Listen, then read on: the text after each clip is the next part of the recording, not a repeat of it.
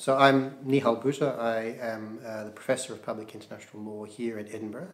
Um, for the last few years, the sort of questions that I've been interested in exploring in my research relate to a range of different things, but uh, one of them is about the rise of autonomous weapon systems and their relationship with the laws of war and human rights law. Why is it that the idea of an autonomous weapon system bothers us? Uh, some uh, ethicists, those who advocate a ban, have argued very strongly that the idea of an autonomous weapon system is inconsistent with human dignity. And this proposition is interesting, but it's not clear uh, why it's true.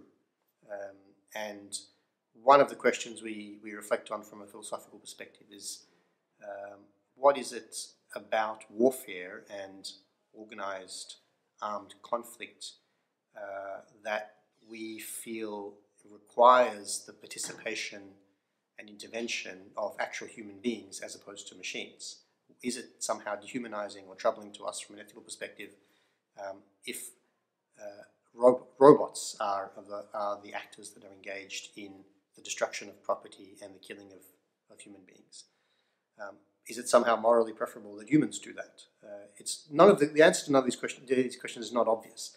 Um, but uh, one of the things that, that has emerged is a lot of doubt about whether, even when if human, if artificial intelligence advances, a lot of doubt about whether some of the judgments that we require under the laws of war could be undertaken by computers.